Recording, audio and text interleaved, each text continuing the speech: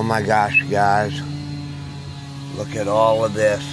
We're trying to drive through town, but they said we could get out. Vehicles upside down, blown out building, trees, buildings everywhere. Yeah. Wow. The devastation is horrible.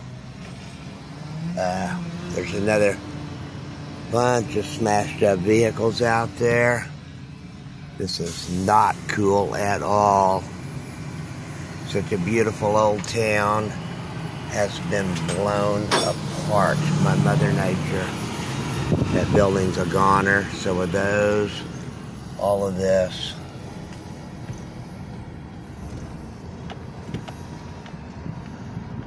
This is uh, terrible. All the law enforcement is out here.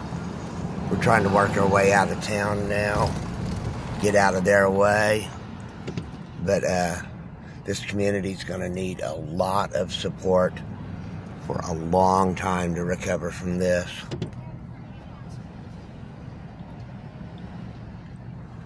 Sorry, as you can tell, I am driving very slowly through town. That boat's a goner.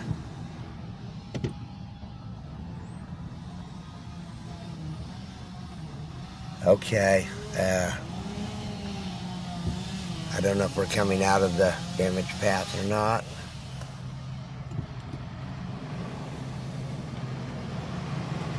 Everybody's here.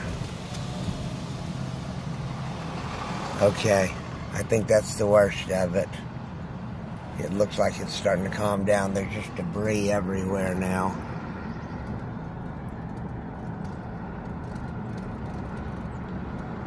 Pray for these people, guys.